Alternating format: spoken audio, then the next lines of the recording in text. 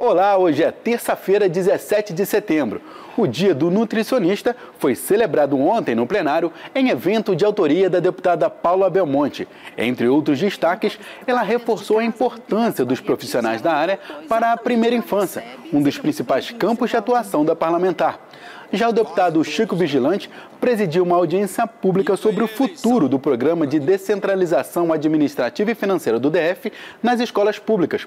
O deputado Pepa entregou o título de cidadão honorário de Brasília ao medalhista paralímpico Parré. Ele conquistou o bronze em Paris na categoria de atletismo em cadeira de rodas. O deputado Tiago Manzoni foi autor de uma solenidade em homenagem aos 20 anos do Jardim Botânico.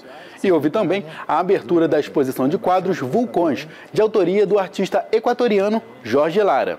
E agora, a agenda de hoje, 17 de setembro. À 1h30 haverá reunião da Comissão de Desenvolvimento Econômico Sustentável, presidida pelo deputado Daniel Donizete. A sessão ordinária no plenário começa às 3 horas da tarde, sob a presidência do deputado Wellington Luiz. Às sete da noite haverá no auditório a abertura do Encontro de Economistas do Centro-Oeste, evento de autoria também do deputado distrital Wellington Luiz. Às sete da noite, mas no plenário, o deputado Chico Vigilante entrega o título de cidadão honorário de Brasília ao músico Tião Rodrigues. Esse foi o Informe CLDF, transmitido de segunda a sexta aqui na TV Câmara Distrital. Obrigado e até a próxima.